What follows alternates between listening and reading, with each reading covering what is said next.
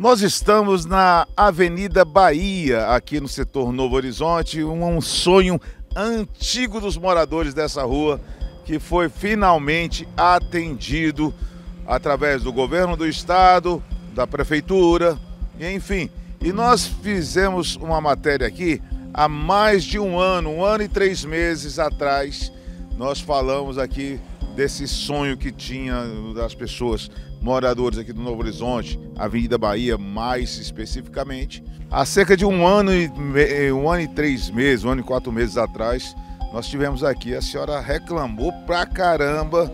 Verdade, porque eu, eu, eu tive que parar, né, o, o, meu lanche, que é a única renda que eu tenho, esse lanche, né, e também veio a pandemia do coronavírus, aí ajudou as duas coisas e a rua acabada, não tinha como a gente tocar nada, né? Graças a Deus agora o prefeito botou esse asfalto, foi uma benção de Deus. Agora agora tá faltando apenas o meio-fio e a calçadinha, né? É verdade, e o quebra-mola, porque o povo estão passando correndo demais aqui também, né? Nós, nós queremos um quebra-mola aqui.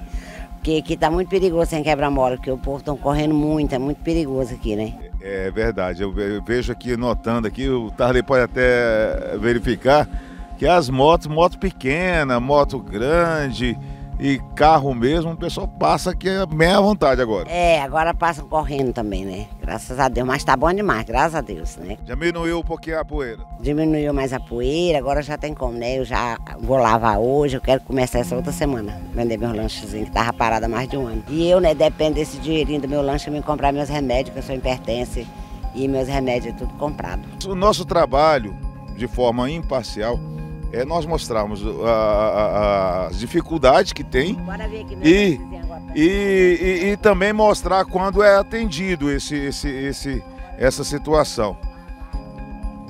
Aqui, olha, por exemplo, a, a, qual é o nome da senhora? Nessi. Dona Nessi. A dona Nessi, ela tem uma lanchonetezinha que era prejudicado por causa do, do, da construção da ponte e pela falta de asfalto. E pela poeira, que era demais também, né? Porque o povo não tinha nem como botar uma mesa aqui fora para o povo beber nem um café, nem um leite, nem nada, porque enchia de poeira, né? Não tinha como. E porque também não tinha trânsito, né? A ponte não, não tinha ponte aí, era uma pontinha de madeira que queimaram. E... Queimaram a ponte e nós ficou mais de dois anos sem ponte aqui. Mas graças a Deus agora está tudo resolvido, graças a Deus. Agora só Deus me dá a condição de eu começar. Com a imagem de Tarley Soares, Sérgio Murilo Romão para a Rede TV.